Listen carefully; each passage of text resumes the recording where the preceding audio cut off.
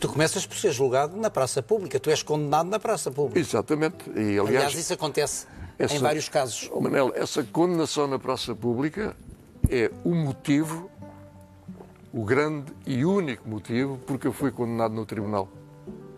Num acórdão que diz que não há prova nenhuma dos meus crimes. Que não cometi, evidentemente. Não pode haver provas.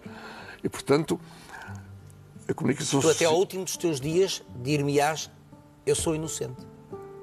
Não posso dizer outra coisa. Se quer dizer a verdade, sou inocente. Eu sei que sou inocente. As pessoas que me acusaram sabem que eu estou inocente. As pessoas que me julgaram, os juízes que me julgaram, sabem que eu estou inocente e inventaram uma coisa inexistente que é a ressonância da verdade para, para me condenar. E mataram-te. Eu sou um bocado duro de roer, isto é. Mas mataram-te profissionalmente, Carlos. Mataram-te socialmente. Socialmente não mataram assim tanto. Ah, não conseguiram matar os meus amigos, por exemplo. Tenho muitos, felizmente, Perdeste, perdeste alguns? Bem, também não seriam amigos. Não, não eram amigos. Ah, perdi alguns que se diziam meus amigos. Nó- nós em Portugal temos uma coisa muito curiosa. Ah, eu digo-te assim, ó Manel, hum, hum, epá, estive ontem com um tipo que vende bolas de Berlim na praia É meu amigo. E tu dizes assim, epá, é meu amigo.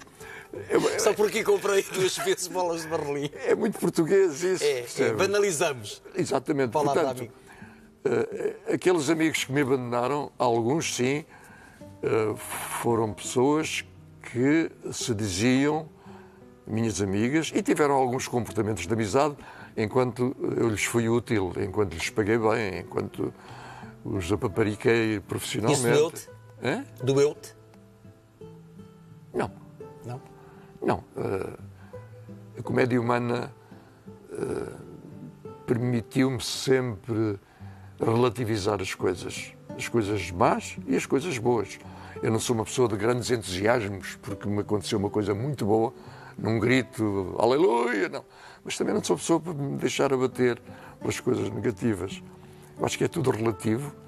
Mas sempre foste assim ou encontraste ultimamente esse equilíbrio para sobreviver? Não, eu, olhando para trás, eu acho que sempre fui assim. Não estive em situações tão extremas que me obrigasse a fazer esta análise. Mas olhando para trás, analisando como eu sempre fui, acho que sempre fui assim. Não, sou pessoa pacífica, tranquila, eh, gosto do que é belo, segundo o meu conceito de beleza, evidentemente, isto é muito subjetivo.